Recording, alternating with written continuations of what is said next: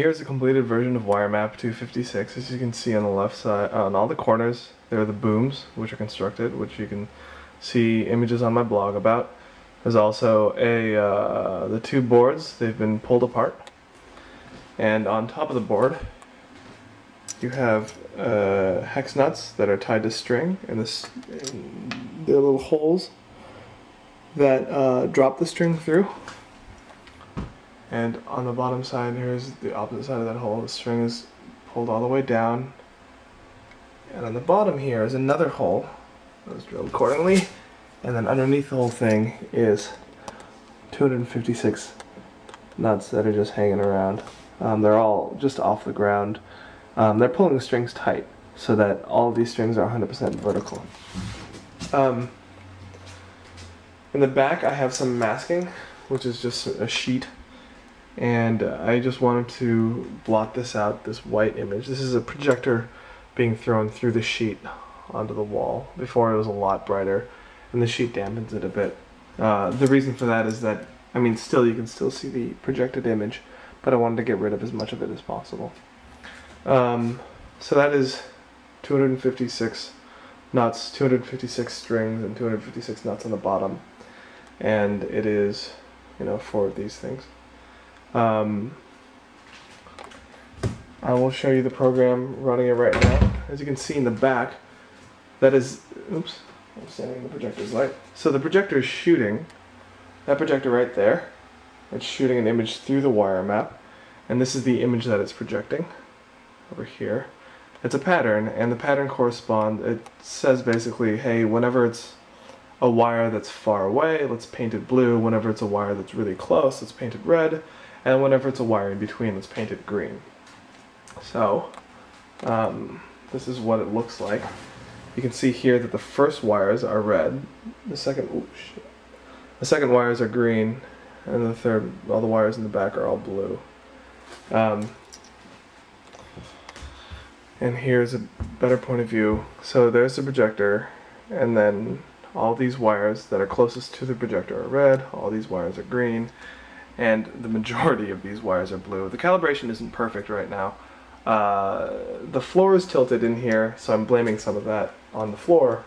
And um, my process, these booms that I made aren't so perfect. At any rate, so now I have 256 wires. Uh, and the image is this, and uh, I'm going to load another program. This is the calibration program. And if you just bear with me, I'm going to load the globe program. And what this does it builds a globe. Um, so what you're looking at here is the computer. It figures out what where each wire is and then it paints each wire accordingly to a volume of a globe. So this is the globe.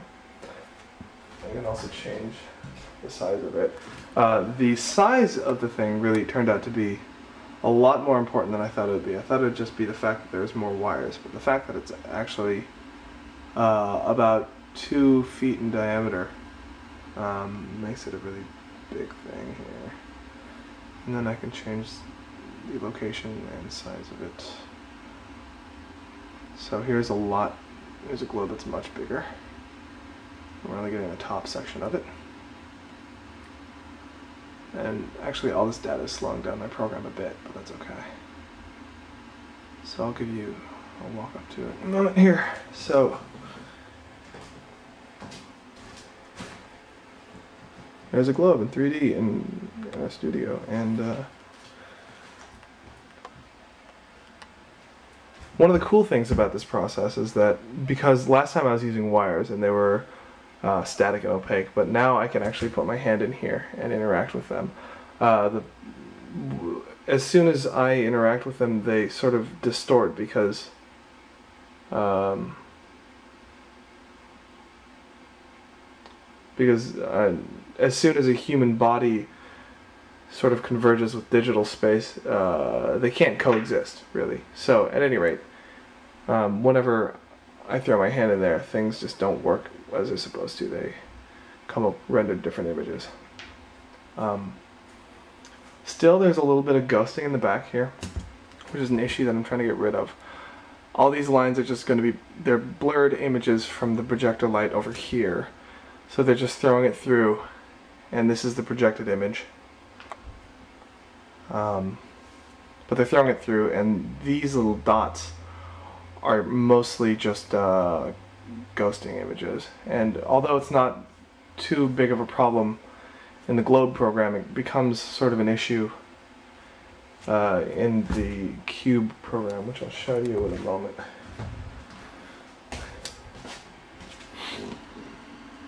Um, see here.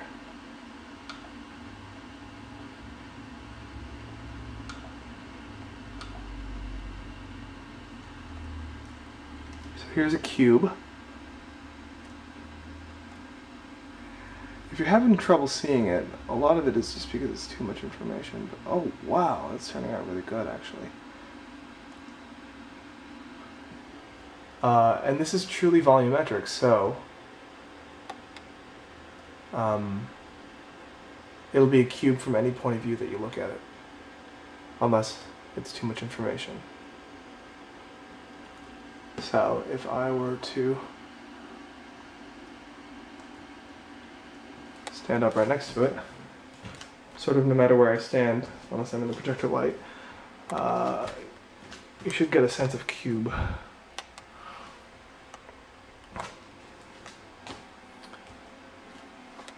Um, the worst point of view to see it from is straight on because the ghosting occurs and because you get to see all these dots on this projected surface. Ideally what would happen is that this installation would go somewhere uh, where the stray light would go right through and uh, I wouldn't need this surface because there wouldn't be a wall right, a white wall there behind it. There'd be a lot of empty space behind it. Um, yeah. So now, so what's next in my process is I'm going to try to uh, make this a Java object. Uh, right now it's a processing object. And eventually, if it can be a Java object, then that means um, I'll be able to export it to people to play with in uh, Max MSP. Um, if you can play with this in Max MSP, that means you'd be able to uh, play with it with music. Um, also, if it's a Java program, you can make as many plugins as you need.